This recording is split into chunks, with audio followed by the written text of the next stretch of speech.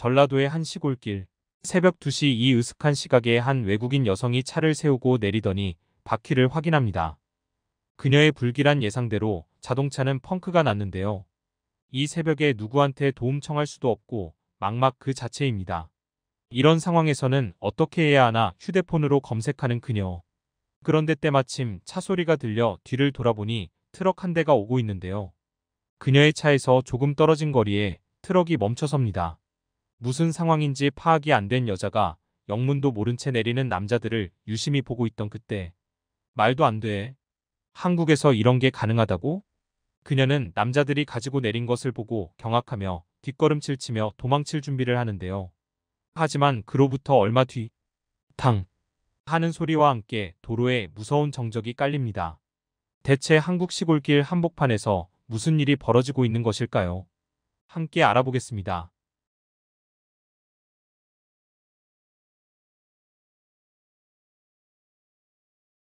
안녕하세요. 저는 루시 워커라고 합니다. 올해 29살인 저는 전화와 화상 채팅으로 영어를 가르치는 일 그리고 제가 운영하는 블로그에 붙은 광고를 통해 수익을 얻고 있습니다. 엄청 많은 수입을 올리는 건 아니지만 적어도 생계를 유지하는 데는 큰 지장이 없기에 지금처럼 한국 방방곡곡을 여행하며 살고 있죠. 저는 한국에서 주로 도시보다는 시골 유명한 곳보다는 실제 현지인들이 많이 다니는 곳들을 선호하는데요. 제가 이렇게 한국이라는 나라의 매력을 느껴 자유롭게 돌아다니게 된 것은 바로 저의 우울한 삶에서 벗어나고 싶었기 때문입니다. 영국인으로 태어났으나 아버지의 일 때문에 미국으로 온 저는 모델로서 꿈을 꿨지만 18살 때부터 4년간 무명 생활을 하고 버티지 못해 22살에 이른 나이에 결혼을 도피처 삼았습니다.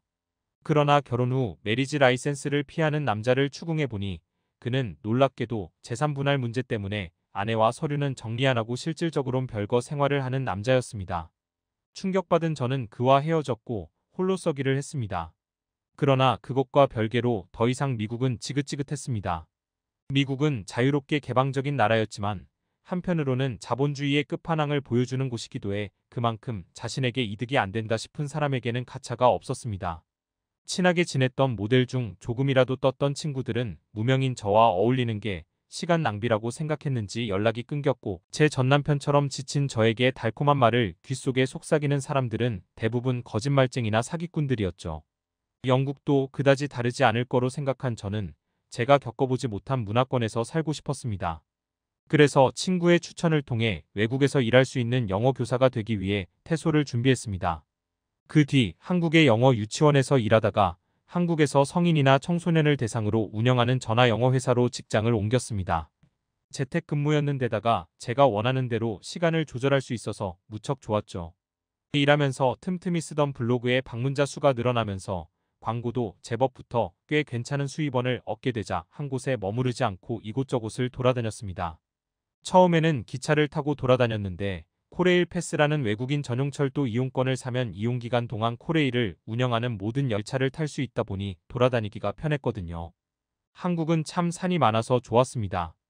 영국과 달리 큰맘 먹고 가지 않아도 어디를 가든 산이 있었고 산책하듯 오를 수 있는 뒷산도 많았죠. 게다가 산길도 잘 정리되어 있어 등산에 취미가 전혀 없는 저도 어렵지 않게 오를 수 있었습니다. 산에 올라가면 종종 절이 있기도 했는데 템플 스테이 프로그램을 신청하면 절에서 명상하는 시간을 가질 수 있었죠. 산지 밑에는 농과 집이 있었는데 할머니들은 외국인이 시골을 돌아다니고 있으면 신기하다는 눈빛으로 쳐다보고는 했는데요. 처음에는 그런 눈빛이 인종차별인가 싶어 기분 나빠했는데 나중에 알고 보니 그저 신기함의 표현이었습니다. 나이 드신 분 중에서는 이런 외국인을 보는 게 익숙지 않은 분들도 종종 계시거든요. 저 같은 외국인이 한국어를 써주면 마을 정자에 앉아있던 할머니 할아버지는 무척 말 잘한다고 칭찬하면서 먹을 것을 챙겨주곤 했습니다. 음식점을 가도 외국인 아가씨가 여기까지 왔냐며 좋아하셨습니다. 한국은 반찬이라고 불리는 사이드 메뉴가 공짜로 나오곤 하는데 시골의 인심 좋은 아주머니들은 제가 잘 먹는 반찬이 있으면 한 번 더 리필해 주셨어요. 그 외에도 한국 특유의 아름다운 풍경, 신선한 공기가 몸과 마음을 풍요롭게 했죠. 덕분에 이혼 이후 앓고 있던 우울증 증세가 자연스럽게 나아져 약을 먹지 않아도 됐고 도시를 벗어나 사랑과 일에 치이지 않고 살아가니 마음가짐부터 넉넉해졌죠. 시간이 흘러 저는 한국에서 운전면허를 취득해 중고차를 하나 샀습니다. 확실히 자가용이 훨씬 장소의 제약을 덜 받고 내가 가고 싶은 대로 갈 수 있었습니다. 행복한 저는 평소 늦은 밤 잘 돌아다니지 않던 것과 달리 차를 가지고 마음껏 쏘다녔습니다. 예전에 한국에 왔을 때 영어 유치원 교사로 일하고 있던 친구가 차로 밤 드라이브를 시켜준 적 있는데 드라이브는 기분 좋았지만 이 시간에 이러고 다녀도 되냐고 물어봤습니다. 친구는 한국은 어차피 총기 소지도 안 되고 치안도 좋은 나라라 교통사고 같은 일이 아닌 이상 계획 범죄의 표적이 될 일은 없다고 했습니다. 미국이나 영국 같은 나라나 강도들이 차를 타고 쫓아오지 한국에서는 그런 일은 없다고 했죠. 그 말을 철석같이 믿은 저는 오랜만에 운전해 신이 나 밤중에 드라이브를 나가 반바람과 함께 자유를 즐겼습니다. 한국은 미국과 다르게 도로도 잘 되어 있어 시골길임에도 불구하고 도로 포장 상태가 괜찮았습니다.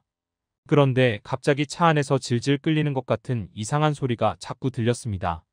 깜짝 놀란 저는 차를 멈추고 이상이 없는지 확인하기 시작했습니다. 차 전면엔 아무 이상이 없어 바퀴 쪽을 확인하자 약간 큰 돌이 있었습니다. 그런데 돌 때문에 그랬을 거라는 처음 추측과 달리 문제는 그게 아니었습니다. 자세히 보니 도로에 있던 금속 조각과 유리 파편 때문에 바퀴 구멍이 뚫린 듯 했어요. 지금은 심하게 바람이 빠지진 않았지만 펑크난 자동차를 타고 다니면 위험했으므로 이 부분을 수리해야 했습니다.